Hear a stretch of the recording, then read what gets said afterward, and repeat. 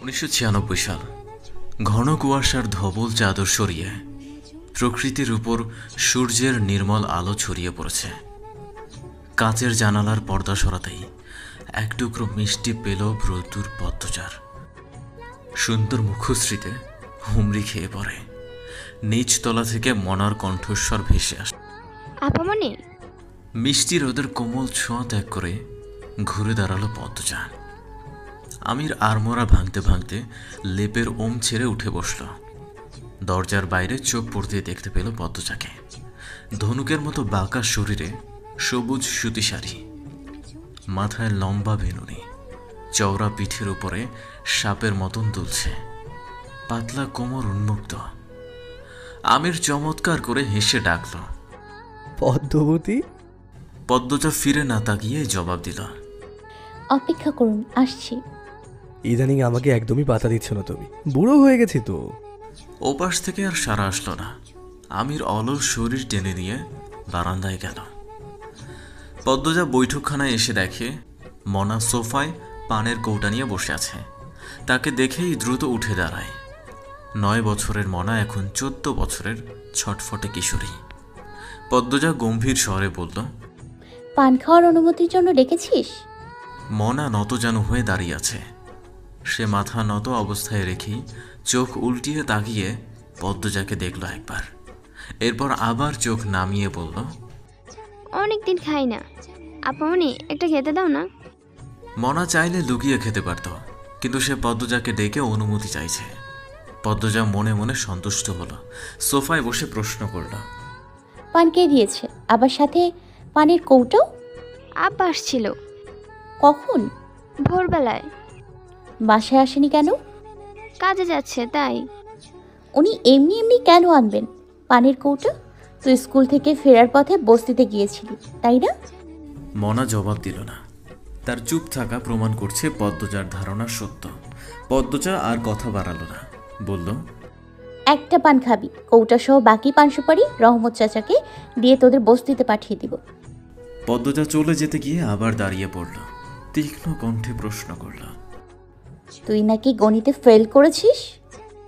পদ্মজার প্রশ্নে মনা চোরের মতো এদিক ওদিক চোখের দৃষ্টি দৌড়াতে লাগল। পদ্মজা ধমকে উঠল। বলছিস না কেন? আমি প্রতিদিন রাতে সময় নিয়ে তোকে গণিত বুঝিয়েছি। তবুও ফেল করলি কি করে? পরীক্ষার আগের দিন পড়িনি। পরীক্ষায় গিয়ে সব ঝাপসা ঝাপসা মনে পড়ছিল। কেন পড়িসনি? সেদিন আমি অসুস্থ ছিলাম না তাই আমি দুই তলায় ছিলাম। নিচে একবারও আসতে পারিনি। এই সুযোগে পড়া রেখে টিভি দেখেছিলি, তাই তো? মনা বাধ্যের মতো মাথা নাড়ল। পদ্মজা হাসবে না কাঁদবে বুঝতে পারল না। বেহায়ার মতো আবার স্বীকারও করছে। পড়া রেখে টিভি দেখেছে। ঢাকা আসার পরের বছরই মনাকে স্কুলে ভর্তি করে দিয়েছিল সে। এখন মনা পঞ্চম শ্রেণীতে পড়ে। মাথায় বুদ্ধি বলতে কিছুই নেই। সারাক্ষণ টিভি টিভি আর টিভি। এত পড়ানোর পরও কিছু মাথায় রাখতে পারে না। পদ্মজা বিরক্তি নিয়ে জায়গা ছাড়ল। শোবার ঘরে ঢুকতেই আমির আক্রমণ করে বসল। পদ্মজার কোমরের উন্মুক্ত অংশে হাত রাখতেই পদ্মজা উফ ঠান্ডা। বলে ছিটকে সরে গেল। আমির হতভম্ব হয়ে গেল। দু পা এগোতেই প্রাপ্তবয়স্ক নারীর ঋণ ঋণে কণ্ঠে ধমক বেরিয়ে আসলো। একদম লাগাবেন না। এই শীতের মধ্যে ভেজা হাতে ছুলেন কীভাবে? আমির কিছু বলল না। সে পদ্মজার দিকে আর চোখে তাকিয়ে আছে। পদ্মজা এদিক ওদিক তার কালো সোয়েটারটা খুঁজল। এরপর আমিরের দিকে তাকিয়ে হেসে দিল। বলল এভাবে সঙ্গের মতো খালি গায়ে দাঁড়িয়ে আসেন কেন? আমির কিছু একটা বলতে যাচ্ছিল। তখনই টেলিফোন বেজে উঠল। পদ্মজা পাশের ঘরে চলে গেল। কালো সোয়েটারটা খুঁজে বের করতেই হবে। এ সোয়েটার পরে সে খুব স্বাচ্ছন্দ্য বোধ করে। আমির টেলিফোন রেখে পদ্মজাকে ডেকে জানালো। সে বের হবে। জরুরি দরকার। পদ্মজা সোয়েটার খোঁজা রেখে তাড়াতাড়ি করে খাবার পরিবেশন করল। গরুর মাংস গরম করল। আমির খাওয়া দাওয়া শেষ করে নিয়ম মতো পদ্মজার কপালে চুমু দিয়ে বেরিয়ে গেল। পদ্মজা তৈরি হয় রোকেয়া হলে যাওয়ার জন্য। ঢাকা বিশ্ববিদ্যালয়ে পড়ার সুবাদে রোকেয়া হলের অনেক মেয়েকেই চিনে। আজ মনার স্কুল নেই। সে একাই বাসায় থাকবে। পদ্মজা হলে যাচ্ছে এক ছোট বোনের সাথে দেখা করার জন্য। আমিরের তো কখনোই ছুটি নেই। নিজের ব্যবসা যখন তখন কাজ পড়ে যায়। রোকেয়া হলের চারপাশ সবুজ গাছে আবৃত। পদ্মজা গেটের বাইরে গাড়ি রেখে এসেছে। হিম শীতল বাতাসে চোখ জোড়া ঠান্ডায় জ্বলছে। তার পরনে বোরখা, মুখে নিকাব। রোকেয়া হলের ক ভবনে এসে জানতে পারল, যার খোঁজে সে এসেছে সে নেই। চারিদিক নিরিবিলি। প্রায় সবাই ক্যাম্পাসে। নির্জন পরিবেশে এমন ঠান্ডা বাতাস এক রোমাঞ্চকর অনুভূতি। রোকেয়া হলে এ নিয়ে অনেকবার এসেছে সে। পদ্মজা ক ভবনের নিচতলার শেষ মাথার কাছাকাছি অবধি গিয়ে ঘুরে দাঁড়ায়। ফিরে যাওয়ার জন্য। তখন অতি সূক্ষ্ম একটা শব্দ কানে ভেসে আসে। পদ্মজা থমকে দাঁড়াল। দুই পা পিছিয়ে চোখ বুজে শোনার চেষ্টা করল। শব্দটা তীব্র হয়েছে। যেন কাছে কোথাও ধস্তাধস্তি হচ্ছে। পদ্মজার মস্তিষ্ক সচল হয়ে ওঠে। অনুসন্ধানী দৃষ্টি নিয়ে ফিরে তাকায়। একটা মেয়ের চাপা কান্নার শব্দ কর্ণকুহরে পৌঁছাতেই। পদ্মজা দ্রুতগামী ঘোড়ার মতো ছুটে আসে শেষ কক্ষের দরজার সামনে। পৌঁছে দেখতে পেল অর্জুন এবং রাজু একটা মেয়েকে টেনে হিচড়ে কক্ষ থেকে বের করতে চাইছে। ক্যাম্পাসের ছাত্র সংগঠনের নেতা এরা ছয় মাস হলো ছাত্র সংগঠনের নেতৃত্বে এসেছে আর এখনই ক্ষমতার অপব্যবহার শুরু করেছে। পদ্মজার উপস্থিতি টের পেয়ে অর্জুন রাজু তাকালো। মেয়েটা ভয়ে কাঁপছে। পদ্মজাকে দেখে মেয়েটা ছুটে আসতে চাইলে অর্জুন ধরে ফেলে। পদ্মজা বেশ শান্তভাবেই বলল ক্ষমতার অপব্যবহার করতে নেই ছেড়ে দাও মেয়েটাকে। পদ্মজার কণ্ঠ মেয়েটা চিনতে পারল অস্ফুটভাবে ডাকলো পদ্ম আপা পদ্ম আপা আমি মিঠি। পদ্ম আপা ওরা আমাকে জোর করে তুলে নিয়ে যাচ্ছে। আমাকে বাঁচাও। পদ্মজা ভালো করে খেয়াল করে চিনতে পারল মিঠিকে। অর্জুন মিঠির গালে শরীরের সব শক্তি দিয়ে থাপ্পড় মেরে রাজুকে বলল এরে গাড়ে ওঠা। এই আপনি সরেন। মাঝে হাত ঢোকাবেন না। বিরক্ত করা একদম পছন্দ না আমার। দেখো মা জাতিকে এভাবে অপমান করতে নেই। হাতে ক্ষমতা পেয়েছ সৎভাবে চলো। সবার ভালোবাসা পাবে। এভাবে নিজের অন্যের ইজ্জত নষ্ট করছ সেই সাথে নিজেদের পাপই করছ। এই ফুট এখান থেকে। নীতি কথা শোনাতে এসেছে। ভালোভাবে বলছি ভেজাল না করে ছেড়ে দাও। নারীকে নারী রূপে থাকতে দাও। শক্ত হতে বাধ্য করো না। আর একটা কথা বললে জামা কাপড় খুলে মাঠে ছেড়ে দেব। কথাটা শেষ করে অর্জুন চোখের পলক ফেলতে পারল না। তার আগে পদ্মজার পাঁচ আঙুলের দাগ বসে যায় তার ফর্সা গালে। অর্জুন রক্তিম চোখে কিরমির করে তাকায়। মিঠিকে ছেড়ে পদ্মজার গলায় চেপে ধরে। পদ্মজার সঙ্গে সঙ্গে অর্জুনের অন্ডকোষ বরাবর লাথি বসিয়ে দিল। অর্জুন ব্যথায় কুকিয়ে উঠল। সে সেখানে দুই হাত রেখে বসে পড়ল। রাজু বিশ্রী গালিগালাজ করে পদ্মজার দিকে তেড়ে আসে। পদ্মজা মেঝে থেকে ইট তুলে রাজুর মাথা লক্ষ্য করে ছুঁড়ে মারে। মিঠি ভয়ে চোখ খিচে ফেলে। রাজুর কপাল ফেটে রক্তের ধারা নামে। অর্জুন আকস্মিক তেরে এসে পদ্মজার নিকাব টেনে খুলে। ঘোলা চোখের ভয়ঙ্কর চাহনি, রক্ত যাবার মতো ঠোঁটের কাঁপুনি অর্জুনের অন্তর কাঁপিয়ে তোলে। তবুও দমে থাকেনি। পদ্মজাকে হামলা করার জন্য প্রস্তুত হয়। পদ্মজা তার কাঁধের ব্যাগ থেকে ছুরি বের করে অর্জুনের গলায় টান বসায়। এই দৃশ্য দেখে মিঠির শরীর কাঁপতে থাকে। অর্জুন চিৎকার করে বসে পড়ে। গলায় হাত দিয়ে দেখে গলাটা শরীর থেকে আলাদা হয়ে যায়নি। চামড়া ছিঁড়েছে শুধু। তার হৃৎপিণ্ড যেন মাত্রই মৃত্যুর সাক্ষাৎ করে ফেল। পদ্মজার অভিজ্ঞ হাত তার কলিজা শুকিয়ে দিয়েছে। মেঝেতে বসে হাঁপাতে থাকে। পদ্মজা ছুরির রক্ত অর্জুনের গেঞ্জিতে মুছে পড়ল তোমাদের ভাগ্য ভালো পদ্মজার হাতে পড়েছ। হেমলতার হাতে পড়নি। এরপর মিঠিকে প্রশ্ন করল আমার জানা মতে তুমি প্রথম বর্ষে আছো। আর হলে দ্বিতীয় তলায় থাকার কথা। এখানে আসলে কি করে? মিঠির ভয় এখনও পুরোপুরি কাটেনি। সে ঠোঁট ভিজিয়ে নিয়ে বলল আমি গত কয়েকদিন অসুস্থ ছিলাম। ক্যাম্পাসে যেতে পারিনি। অর্জুন দাদা নাজমাকে দিয়ে আমাকে ডেকেছিল। এমনি চলে এসছো? কয়দিন আগে তৃতীয় বর্ষে একটা মেয়ের কি হাল হয়েছে দেখনি শোনোনি? এরপরেও এদের ডাকে সাড়া দিলে কেন? না দিয়েও তো উপায় নেই। পদ্মজা আর কিছু বলতে পারল না। মিঠিকে নিয়ে কক্ষ থেকে বেরিয়ে পড়ে। এরপর নিকাব পড়তে পড়তে বলল এসব বেশি দিন সহ্য করা যায় না। মেয়েরা হলে এসে থাকে পড়াশোনার জন্য। আর এসব নির্যাতনের শিকার হতে হয়। তোমার চেনা জানা আরও যারা মানসিক শারীরিকভাবে ভুক্তভোগী আছে সবার নামের তালিকা আমাকে দিতে পারবে? কেন? সবাইকে নিয়ে প্রশাসনের কাছে যাব। তাদের নীরবতা আর মেনে নেব না। ক্যাম্পাসে আসার পর থেকে নেতাদের অপকর্ম দেখছি। থামানোর চেষ্টা করছি। একজন দুজন থামে আরও দশজন বাড়ে। এবার আমাদের আন্দোলন করতে হবে। কেউ ভয়ে আন্দোলন করতে চায় না। অনেকবার দিন তারিখ ঠিক হয়েছে শুনেছি। এরপর যাদের আসার কথা ছিল তাদের মধ্যে আশি ভাগই আসতো না। অনেককে বাসায় আক্রমণ করা হয়েছে। পদ্মজার বুক ফুরে নিঃশ্বাস বেরিয়ে আসলো। সমাজে মেয়েরা এত দুর্বল, তাদের দেহের লুকায়িত আকর্ষণীয় ছন্দগুলো না থাকলে হয়তো তারাও সাহসী হতো। ছন্দ হারানোর ভয় থাকতো না, কাউকে ভয় পেতে হতো না। পদ্মজা মিছিকে বলল, তুমি বরং কয়েকদিন বাড়ি থেকে ঘুরে আসো। এখানে থাকা তোমার জন্য এখন বিপজ্জনক। আমি আগামীকাল গ্রামে যাচ্ছি। আমার আম্মার মৃত্যুবার্ষিকী। ছোট বোনের ম্যাট্রিক পরীক্ষা দেড় মাস পর। আরেক বোনের বিয়ে দেওয়ার কথা ভাবছি। দেড় দুই মাসের মতো গ্রামে থাকব। এরপর এসে এই নেতাদের ব্যবস্থা করব। তোমাদের বসে শিখা আছে না? বেশ সাহসী মেয়েটা। ওর মতো আরও কয়েকটা মেয়ে পাশে থাকলেই হবে।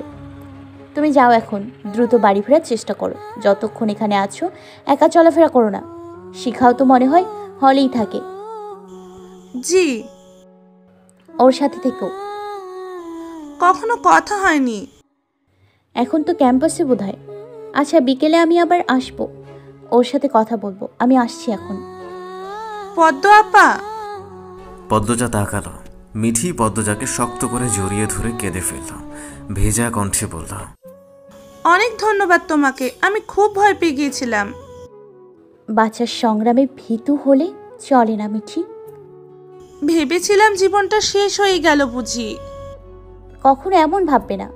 বিপদের সামর্থ্য মতো যা পারো করবে। শরীরের শক্তি নিশ্চয়ই কম নয়। মনের জোরটা কম সেই জোরটা বাড়াবে। মনের জোর বাড়াতে টাকা লাগে না। কঠিন জীবন সহজ করে তোলার দায়িত্ব নিজেরই নিতে হয়। মিঠি মাথা তুলে তাকালো। একটু সরে দাঁড়িয়ে চোখের জল মুছল। এরপর বলল দ্রুত ফিরবে পদ্ম আপা। আমরা আমাদের নিরাপত্তার যুদ্ধে নামবো। ফিরবো দ্রুত ফিরবো। গাড়ি বাড়ির উদ্দেশ্যে ছুটছে। বাড়ির নাম আগে ছিল আমির ভিলা। বছর ঘুরতেই আমির বাড়ির নাম পাল্টে দিল। পদ্মনীর। পদ্মজা জানালার কাছ তুলে বাইরে তাকালো। রাস্তাঘাটে মানুষজন কম, ঠান্ডা বাতাস। সূর্যের আলো একদমই তেজ নেই, যেন থুরথুরে বৃদ্ধ হয়ে গেছে। পদ্মজা আকাশ পানে তাকিয়ে তিনটা প্রিয় মুখকে খুঁজে। চোখ দুটো টলমল করে ওঠে। কোথায় আছে তারা? আবার কবে হবে দেখা? পদ্মজা কাছ নামিয়ে দিল। রুমাল দিয়ে চোখের জল মুছে, সিটে হেলান দিয়ে চোখ বুঝল নিস্তব্ধ বিকেল। ঘন কুয়াশায় ঢেকে আছে অলন্দপুরের আটপাড়া। সেই নিস্তব্ধতা ভেঙে যায় নুপুর পূর্ণার চঞ্চল কাদা মাখা দুটি পা দৌড়ে ঢুকে পড়ল মোরল বাড়ি। পায়ের নুপুর জোড়া রিনঝিন রিনঝিন সুর তুলে ছন্দে মেতেছে। পরনে লাল টুকটুকে শাড়ি, আঁচল কোমরে গোজা। শাড়ি গোড়ালির অনেক উপরে পড়েছে। বাড়িতে ঢুকেই চেঁচিয়ে ডেকে উঠল। বড় আম্মা, ও বড় আম্মা। বাসন্তী রান্নাঘর ছেড়ে দৌড়ে আসেন। হাতের চুড়িগুলো ঝনঝন করে ওঠে। মুখে বয়সের ছাপ পড়েছে তাও কিঞ্চিত পূর্ণাকে এভাবে হাঁপাতে দেখে প্রশ্ন করলেন বাড়িতে ডাকাত পড়েছে? আপার চিঠি। আপার চিঠি শুনে প্রেমা বেরিয়ে আসে ঘর থেকে। সে পড়ছিল। ওড়না দিয়ে ঘুমটা টানা। ষোড়শী মনে বিন্দুমাত্র আগ্রহ নেই। সবার চেয়ে আলাদা হয়েছে। খুব ভীতু এবং লাজুক সে। পূর্ণা বড় বোন হয়ে সারাদিন বনবাদারে ঘুরে বেড়ায়। আর সে ঘরে বসে পড়ে বাড়ির কাজ করে স্কুলে যায়। পদ্মজার কথা মতো প্রতিদিনের রুটিন অনুসরণ করে সে বলল কে বলছে আপা? চিঠি দাও। তোর পড়তে হবে না। বলছে মাঘ মাসের উনিশ তারিখ আসছে অনেক দিন থেকে যাবে। আজ কত তারিখ? উনিশে মাঘ। বাসন্তীর চোখ দুটো যেন কোটর থেকে বেরিয়ে আসতে চাইল। বিস্ফোরিত কণ্ঠে বললেন আজই? বিকেল তো হয়ে গেছে। পূর্ণা অস্থির হয়ে বাসন্তীর কাছে দৌড়ে আসে। দুই হাত ধরে করুণ স্বরে বলল তাড়াতাড়ি সালোয়ার কামিজ বের করো আমার। এই রূপে দেখলে একদম মেরে ফেলবে আপা। মা আমি আগে আমার রূপ পাল্টাই। তুমি তোমারটা খুঁজে নাও। কথা শেষ করেই বাসন্তী ঘরের দিকে যান। বুক দুরু দুরু কাঁপছে। পরনে ঝিলমিল ঝিলমিল করছে টিয়া রঙের শাড়ি। দুই হাতের তিন ডজন চুরি কপালে টিপ, ঠোঁটে লিপস্টিক এ অবস্থায় পদ্মজা দেখলে কেলেঙ্কারি হয়ে যাবে। তিনি সাজগোজ পূর্ণার কথায় ছেড়ে দিয়েছিলেন। এরপর পূর্ণার কথাতেই দুজন মিলে আবার শুরু করেছেন।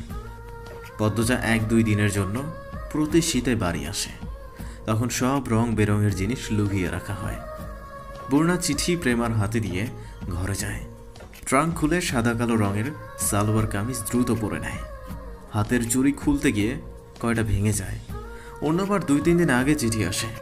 রাজ, যেদিন পদ্মজা আসছে, সেদিনই চিঠি আসতে হলো। দশ দিন আগে চিঠি পাঠিয়েছে পদ্মজা। ডাকঘর থেকেই দেরি করেছে। পূর্ণা মনে মনে ডাকঘরের কর্মচারীদের গালি দিয়ে চোদ্দ গোষ্ঠী উদ্ধার করছে। সে দ্রুত জুতা পরে বারান্দায় আসে। প্রেমাকে তারা দিল। জলদি পানি নিয়ে আয়। প্রেমার বেশ লাগছে। সে মনে প্রাণে দোয়া করছে, পদ্মজা এক্ষুনি এসে যাক আর দেখুক, পূর্ণার সাজগোজ। কিন্তু প্রকাশ্যে পূর্ণার আদেশ রক্ষার্থে কলসি নিয়ে কলপারে গেল। পূর্ণা মনে মনে আয়াতুল কুরসি পড়ছে। এই বুঝি পদ্মজা এসে গেল। গতবার মার তো খেয়েছেই, তার সাথে পদ্মজা রাগ করে তিন মাস চিঠি লেখেনি। বাতাসের বেগে পাতায় মরমর আওয়াজ হচ্ছে। আর পূর্ণার মনে হচ্ছে, এই তো তার রাগী আপা হেঁটে আসছে। না পানির জন্য অপেক্ষা করা যাবে না। পূর্ণা কলপারে ছুটে যায়। কলসি থেকে পানি নিয়ে পায়ের কাদা ঠোঁটের লিপস্টিক ধুয়ে ফেলে। কপালের টিপ খুলে কলপারের দেয়ালে লাগিয়ে রাখে। হাতের চুড়ি, গলার হার, কানের বড় বড় দুল ট্রাঙ্কের ভেতর রেখে এসেছে। পায়ের দিকে আবার চোখ পড়তেই সে আটকে উঠল। নুপুর জোড়া হাঁটার সময় অনেক আওয়াজ তোলে। এরকম নুপুর পরা নাকি ইসলামে নিষিদ্ধ। আবার দৌড়ে গেল। দৌড়ানোর সময় বারবার হুমড়ি খেয়ে পড়তে গিয়েও নিজেকে সামলে নিচ্ছিল। নুপুর দুটো খুলে ট্রাঙ্কের ভেতর রেখে দিয়ে মাটিতে ধপ করে বসে বসে লম্বা করে নিঃশ্বাস নিল। বিড়বিড় করে বলল বাঁচা গেল। এরপর হাঁটুতে থুতনি রেখে মিষ্টি করে হাসল আজ তার আপা আসবে। তার জীবনের সবচেয়ে দামি এবং ভালোবাসার মানুষটা আসবে। ঈদের আনন্দের চেয়েও বেশি এই আনন্দ। পূর্ণা মাথায় ঘুমটা টেনে রান্নাঘরে যায়। প্রায় বছর খানেক পর আবার রান্নাঘরে ঢুকেছে সে। বাসন্তী সাদা রঙের শাড়ি পরেছেন। তাড়াহুড়ো করে এটা ওটা রাঁধছেন পূর্ণা সাহায্য করার জন্য হাত বাড়ালো। বাসন্তী বললেন প্রান্তরে বলো গিয়ে লাল রঙের দাগ দেয়া রাজহাঁসটা ধরতে। পূর্ণা চুলায় লাকড়িয়ে আরেকটা দিয়ে লাহারি ঘরের দিকে যায়। প্রান্তকে লাহারি ঘরেই বেশি পাওয়া যায়। প্রেমা পদ্মজার জন্য হেমলতার ঘরটা গোছাচ্ছে। ইট পাথরের শহরের সবই কৃত্রিম। কৃত্রিমতা ছেড়ে ছায়ায় ঘেরা মায়ায় ভরা গ্রাম, আঁকাবাঁকা বয়ে চলা নদী খাল, সবুজ শ্যামল মাঠের প্রাকৃতিক রূপ দেখে, তৃষ্ণার্ত নয়নের পিপাসা মেটাতে গিয়ে পদ্মজা আবিষ্কার করল। তার চোখে খুশির জল, সবেমাত্র অলন্দপুরের গঞ্জের সামনে ট্রলার পৌঁছেছে। ট্রলারটি হাওলাদার বাড়ির, আলমগীর ও মগা উপস্থিত রয়েছে। তারা দুজন ট্রলার নিয়ে রেল স্টেশনের ঘাটে অপেক্ষা করছিল। আমির পদ্মজার পাশ ঘেঁষে দাঁড়াতেই পদ্মজা বলল ইচ্ছে হচ্ছে জলে ঝাঁপ দিই। পদ্মজা আমিরের দিকে তাকিয়ে মৃদু হাসল এরপর বলল অল্পতে ভয় পেয়ে যান কেন? বলতে চেয়েছি অনেক দিন পর চেনা নদীর জল দেখে ছুঁয়ে দেখতে ইচ্ছে হচ্ছে ডুব দিতে ইচ্ছে হচ্ছে। পদ্মজা আমিরের দিকে তাকালো। আমিরের গাল ভর্তি দাড়ি ঘন হয়েছে খুব। চোখের দৃষ্টি গাঢ়, তীক্ষ্ণ। পঁয়ত্রিশ বছরের পুরুষ, অথচ একটা সন্তান নেই। বাবা ডাক শুনতে পারে না। মানুষটার জন্য দুঃখ হয়। পদ্মজা গোপনে দীর্ঘশ্বাস ছাড়ল। আজান পড়ছে। ট্রলার মোরল বাড়ির ঘাটে ভিড়ে। প্রথমে পদ্মজার চোখে পড়ে রাজহাঁসের ছুটে চলা। ঝাঁক রাজহাঁস দৌড়ে বাড়ির ভেতর ঢুকছে। হাঁসের প্যাক প্যাক শব্দে চারিদিক মুখরিত। ট্রলারের শব্দ শুনে পূর্ণা প্রেমা প্রান্ত ছুটে আসে ঘাটে। আগে আগে আসে পূর্ণা। পদ্মজা প্রথম সিঁড়িতে পা রাখতেই পূর্ণা যান ছেড়ে ডেকে উঠল। আপা? পূর্ণাকে এভাবে ছুটে আসতে দেখে পদ্মজা ভয় পেয়ে যায়। সাবধান করে। আসতে পূর্ণা?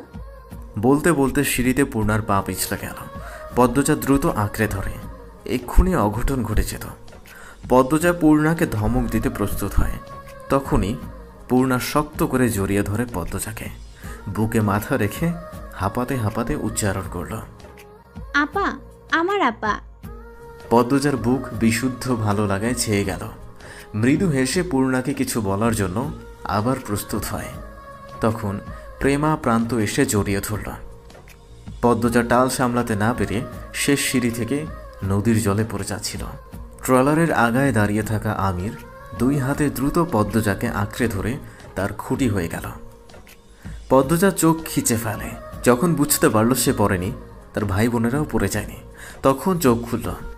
ঘাড় ঘুরিয়ে তার সহধর্মিনীর মুখ দেখে হাসল। এরপর সোজা হয়ে দাঁড়াল। পূর্ণা প্রেমা হেঁচকি তুলে কাঁদছে। খুশিতে কেউ এভাবে কাঁদায় তবে পদ্মজার ভালো লাগছে। বাসন্তীকে দূরে দাঁড়িয়ে থাকতে দেখে পদ্মজা তার ভাই বোনদেরকে বলল আমাকে বাড়িতে ঢুকতে দিবি না তোরা? চলো। পদ্মজা সিঁড়ি ভেঙে বাসন্তীর সামনে এসে দাঁড়াল। সাদা রঙের শাড়ি পরে ছল ছল চোখে তাকিয়ে থাকা এই মানুষটার প্রতি পদ্মজার অনেক ঋণ। হেমলতা মারা যাওয়ার ছয় মাসের মাথায় মোর্শেদ পৃথিবী ছাড়েন। শোকে খাওয়া দাওয়া ছেড়ে দিয়েছিলেন। ফেলে যান কিশোরী দুই মেয়ে বউ এবং এক ছেলেকে। অর্থনৈতিক সমস্যা দেখা দেয় সংসার চলে না। আমির সাহায্য করতে চেয়েছিল। পদ্মজার আত্মসম্মানের আগে। সে কিছুতেই স্বামীর টাকায় বাবার বাড়ির সংসার চালাবে না। নিজেরও কাজ করার উপায় ছিল না। এমত অবস্থায় বাসন্তী চাইলে ফেলে চলে যেতে পারতেন, কিন্তু তিনি যাননি। এক পরন্ত বিকেলে পদ্মজাকে বললেন, নকশি কাঁথা সেলাই করতে পারি আমি। শখে সেলাই করতাম। দুই তিনজন পয়সা দিয়ে কিনতে চাইতো। টাকার দরকার ছিল না, তাই বিক্রি করিনি। তুমি বললে আমি নকশি কাঁথা গঞ্জে বেচার চেষ্টা করতাম। পদ্মজা সেদিন অবাক হয়ে তাকিয়েছিল। বাসন্তী ঘরে ছুটে যান। একটা নকশি কাঁথা নিয়ে আসেন। পদ্মজাকে দেখান। অসম্ভব সুন্দর হাতের কাজ। আমির নকশি কাঁথা দেখে মুগ্ধ হলো। সঙ্গে সঙ্গে বলল বড় ভাইয়া যখনই ঢাকা যাবে নকশি কাঁথা দিয়ে দেবেন। শহরে নকশি কাঁথা চাহিদা রয়েছে অনেক। আপনাদের সমস্যা কিছুটা হলেও ঘুরে যাবে।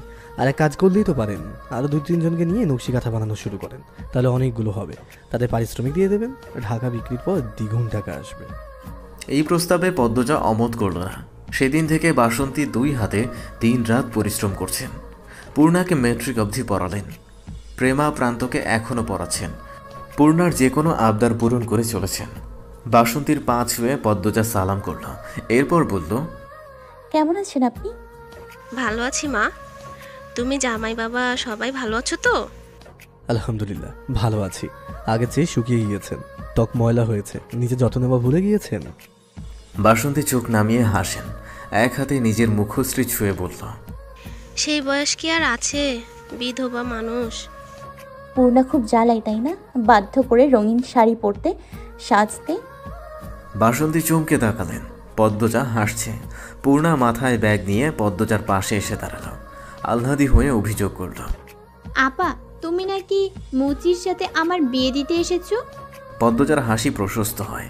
আমিরের দিকে তাকিয়ে এরপর পূর্ণার দিকে তাকালো। বলল কে বলেছে তোর ভাইয়া? পূর্ণা আমিরকে ভেঙচি কেটে পদ্মজাকে বলল আরে কে বলবে? আপা আমায় মুচি বিয়ে করব না। আমার ফর্সা চকচকে জামাই চাই। ম্যাট্রিক ফেল করা শরীরে ধলা জামাই হাঙ্গা করব না। পূর্ণা কিরমির করে তাকালো। পদ্মজা পূর্ণার গাল টেনে দিয়ে বলল আচ্ছা এসব নিয়ে পরে আলোচনা হবে। অন্ধকার হয়ে যাচ্ছে চারপাশ। বাড়িতে চল। তারপর দুই হাতে দুই বোন ভাইকে জড়িয়ে বাড়ির উঠানে পা রাখে সে। সতেজ হয়ে জামা কাপড় পাল্টে নেয় আমির এবং পদ্মজা।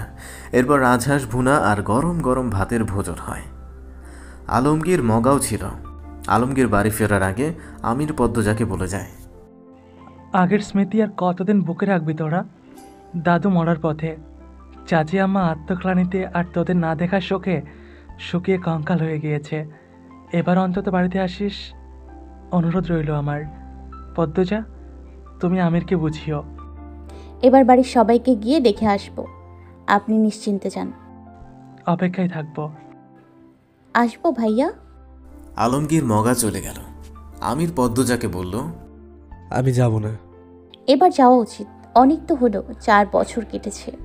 ভয়ঙ্কর রাতটা আজীবন বুকে তাজা হয়ে থাকবে। তাই বলে সম্পর্ক ছিন্ন করতে পারি না। ইসলামের সম্পর্ক ছিন্ন করা হারাম। ওই বাড়িতে গেলে আমার দম বন্ধ কর কষ্ট হয় পদ্মজা। সে তো আমারও হয় কিন্তু আম্মার কথা খুব মনে পড়ে। আম্মার তো কোনো দোষ ছিল না। তবু শাস্তি পাচ্ছেন। ছিল দোষ। যে আসল দোষী তার দেখা আজও পেলাম না। অথচ যিনি দোষী না তিনি সবার চোখে দোষী। আমার সেদিন কেন ঘুমিয়ে পড়েছিলেন? এটাই আমার দোষ। জোর করে ঘুম আটকে রাখা যায় আমরা আগামীকাল যাচ্ছি। এটাই শেষ কথা। পদ্মজা। আমিরের বাকি কথা পদ্মজা শুনল না। সে হেমলতার ঘরের দিকে এগোলো। হেমলতার ঘরের দরজা খুলতেই অদ্ভুত একটা অনুভূতি হয়। শিহরিত হয়ে কেঁপে উঠেছে ছয় বছর আগের মতোই সব, নেই শুধু মা। পদ্মজা ধীর পায়ে ঘরে ঢোকে। আলমারি খুলে হেমলতার শাড়ি বের করে ঘ্রাণ শুকে। বুকের সাথে জড়িয়ে রাখে, গাল বেয়ে অশ্রু গড়িয়ে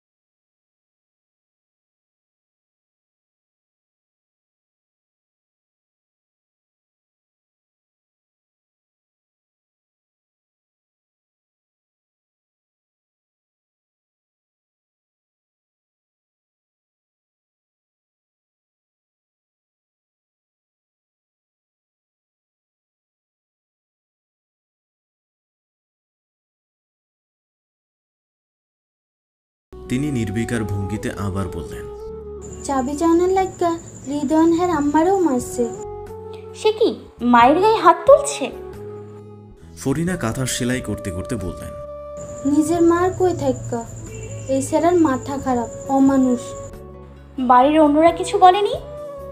নড়া কারা? আব্বা চাচা বড় ভাই কেউ কিছু বলেনি? বাকিদের কথা জানি না। তোমার শ্বশুর তো নিজেই একটা শকুনের বাচ্চা। পদ্মজা চমকে তাকালো। ফরিনাও চকিতে চোখ তুলে তাকান। তিনি মুখ ফুসকে বলে ফেলেছেন। দুজন দুজনার দিকে অনেকক্ষণ তাকিয়ে রইল। পদ্মজা প্রশ্ন করার আগে ফরিনা বললেন পুনায় গাছে উঠছে। সকালে আচারটা খাইলো। বিকালেতে গাছে উঠতে গেছে। শরীরে কয়টা মাইর দিও? পদ্মজা স্পষ্ট বুঝতে পারছে। তার শাশুড়ি আগের কথাটা ধামা চাপা দেওয়ার চেষ্টা করছে। সে আগ বাড়িয়ে কথা বলতে পারল না। মৃদু কণ্ঠে বলল আমি আসি, আম্মা। যাও। পদ্মজা দরজা অবধি এসে ফিরে তাকালো। ফরিনা দ্রুত চোখ সরিয়ে নিলেন। পদ্মজা ঘর ছাড়তেই তিনি যেন হাফ ছেড়ে বাঁচলেন। পদ্মজা উদাসীন হয়ে হাঁটছে। ফরিনা কেন নিজের স্বামীকে শকুনের বাচ্চা বললেন? পদ্মজা দ্রুত নিজেকে সামলে নিল। এখন এসব ভাবা যাবে না। রিদওয়ানের কাছ থেকে চাবি নিতে হবে। সে দ্রুত পায়ে হেঁটে রিদওয়ানের ঘরের সামনে আসে। দরজার শব্দ করতেই ওপাশ থেকে রিদওয়ানের কণ্ঠ ভেসে আসে। কে? পদ্মজা জবাব না দিয়ে আরও জোরে জোরে শব্দ করল। রিদওয়ান কপাল কুচকে দরজা খুলল। পদ্মজাকে দেখে কপালের ভাঁজ মিলিয়ে যায়। ঠোঁটে হাসি ফুটে ওঠে। মোটা হয়েছে আগের চেয়ে। গাল ভর্তি ঘন দাড়ি। এক দুটো চুল পেকেছে। সে খুশিতে গদগদ হয়ে বলল আরে বাপরে পদ্মজা আমার দৌড়া এসেছে। রুম্পা ভাবির ঘরের চাবি দিন। এতদিন পর এসেছ? আবার আমার ঘরের সামনে? ভেতরে আসো বসো এরপর কথা বলি। আমি আপনার সাথে কথা বলতে আসিনি। দয়া করে চাবিটা দিন। চাবি তো দেবো না। কি সমস্যা? রিদওয়ান পদ্মজার কাঁধে হাত রেখে বলল আরে ঘরে আসো তো আগে। পদ্মজা এক ঝটকায় রিদওয়ানের হাত সরিয়ে দিল। চোখ গরম করে তাকিয়ে বলল চাবি দিন। চোখ দিয়ে তো আগুন ঝরছে কিন্তু আমি তো ভয় পাচ্ছি না। চাবি আমি দেবো না। দেবেন না? না। পদ্মজা আর কথা বাড়ালো না, চলে গেল। রিদওয়ান পিছু ডেকেছে, সে শোনেনি। মগাকে দিয়ে পাথর নিয়ে তিনতলায় আসে। মদন একটা ঘরের সামনে চেয়ার নিয়ে বসেছিল।